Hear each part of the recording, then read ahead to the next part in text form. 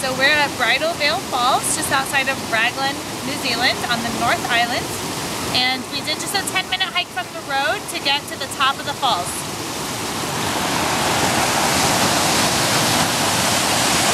Look at that. 55 meters down. Not what we expected. And this beautiful New Zealand scenery. Brooke, you want to go for a jump? Go for a dive?